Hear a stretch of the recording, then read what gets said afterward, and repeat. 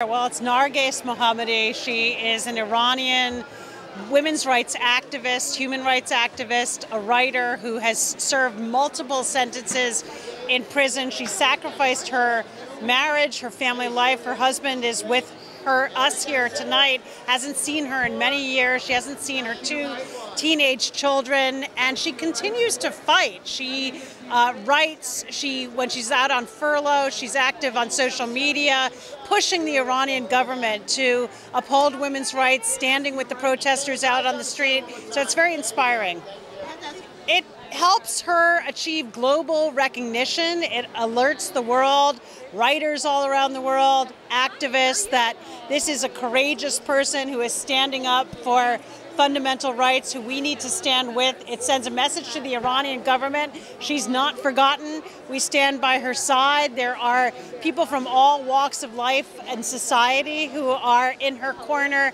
and advocating for her freedom.